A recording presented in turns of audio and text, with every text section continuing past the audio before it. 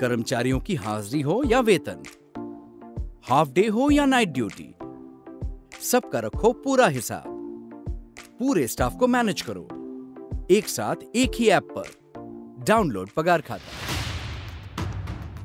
ये भ्रष्टाचार की दीवार है और इस भ्रष्टाचार को उजागर किया है खुद राज्य के कैबिनेट मंत्री प्रद्युमन सिंह तोमर ने।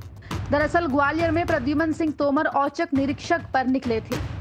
लेकिन अमृत योजना के तहत बनाए जा रहे पानी के चैम्बर के पास मंत्री जी ने अपनी गाड़ी रुकवा दी और कार्य की गुणवत्ता जाँच करने वहाँ पहुँच गए।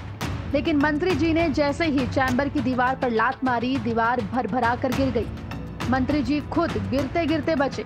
इस मामले को लेकर मंत्री प्रद्युमन सिंह तोमर ने अधिकारियों को कड़ी फटकार लगाई है और चैम्बर बनाने वाली कंपनी पर भी कार्रवाई के आदेश दिए हैं।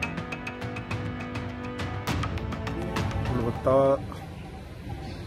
काम हो रहे हैं कि नहीं हो रहे हैं ये जनप्रतिनिधि होने के नाते मुझे जाना चाहिए। जहाँ पे मैंने देखा कि अगर चैम्बर की क्वालिटी अच्छी नहीं बन रही है कल वो रोड बनेगा, रोड धसक जाएगा।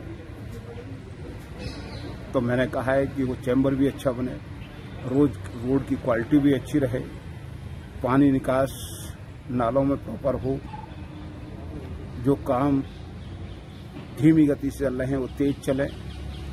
ये मैंने कलेक्टर एसपी और नगर निगम कमिश्नर को निर्देश दिए।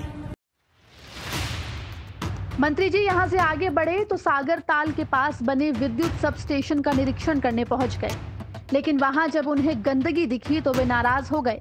खुद विद्युत सब स्टेशन परिसर में फेंके गए शराब की बोतलों को बटोरने लगे और लगे हाथ फ़ोन करके विभाग के उच्च अधिकारियों को भी हड़का दिया।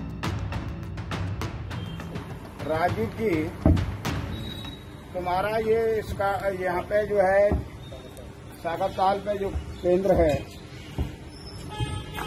वहाँ शराब की बोतलें पड़ी हैं अंदर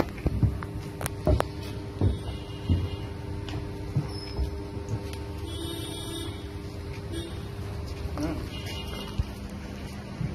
नहीं मैं वहीं पे मेरा कहना ये है कि वहाँ का कौन यही है और वो जो है ना पूरा गंदगी की भरमार है।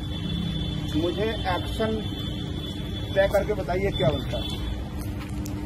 ऐसा क्योंकि हमारी उसकी चारों तरफ़ से बाउंड्री वाल है। उसके अंदर ये दारू की बोतलें कहाँ से मिल रही हैं?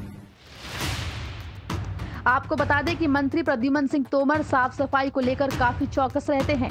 कई बार वो खुद नालियों में घुसकर उसकी सफ़ाई करते हुए देखे जा चुके हैं। फ़िलहाल इस बार मंत्री जी की डांट का अधिकारियों पर कितना असर पड़ेगा, ये जानने के लिए कुछ इंतज़ार करना पड़ेगा। ग्वालियर से सर्वेश पुरोहित की रिपोर्ट, एमपी तक।